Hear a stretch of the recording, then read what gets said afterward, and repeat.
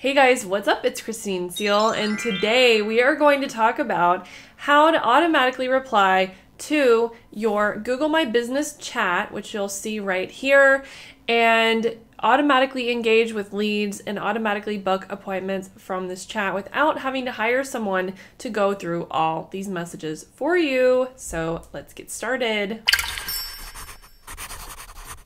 So if you don't already have high level, you can get a free 14 day trial using the link below, and you'll be able to do these automated replies, automated emails, texts, and so very much more. So go click the link below to check that out. Now, what we're gonna do first, I'm gonna assume that you already have your high level account set up. If you don't, you can go to one of my other videos, use my link, and then you'll get a free course on how to set everything up.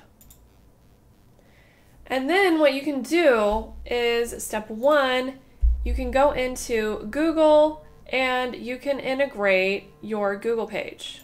So you're going to go to settings and integrations and then you're going to add a Google account here and then select a Google My Business page from this menu. It might take it a minute to load, but you want to pick your Google My Business page and make sure that Enable Google My Business Tracking is turned on. And then go ahead and click on Connect. So we're going to give this a second here.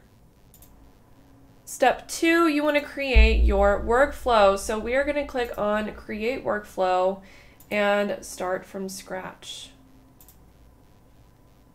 And in this workflow, we are going to catch what happens when a customer replies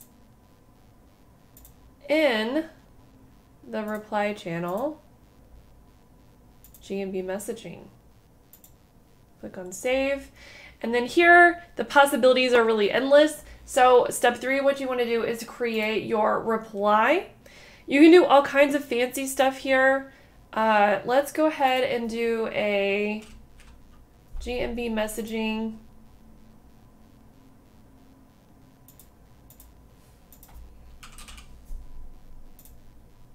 And then we're going to say, hello, would you like set an appointment? Okay, we're going to click on save. And then here is the fancy, I'm going to show you guys how to do a simple workflow based on positive intent and wait time. So we're going to say we're going to wait on the contact reply for this first message, Google My Business. And then this is going to be, or 10 minutes has passed, okay?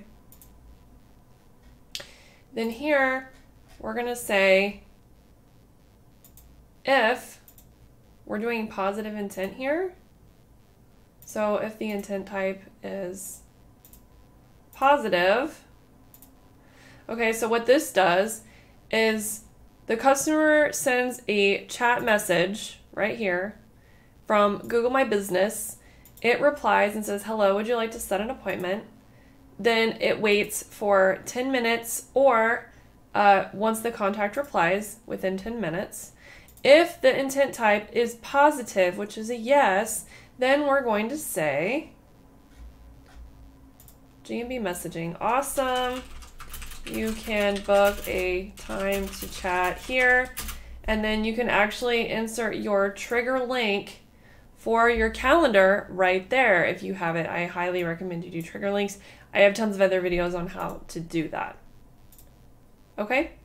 Then if they respond negatively or say no, you can do nothing. You can have a completely different messaging sequence on how to respond to that. And uh, you're going to want to make sure that you publish this and click on save. So I hope this helps you guys to set up your automatic replies for Google My Business messaging. Don't forget to like and subscribe so you don't miss any future videos from me, and I'll see you next time.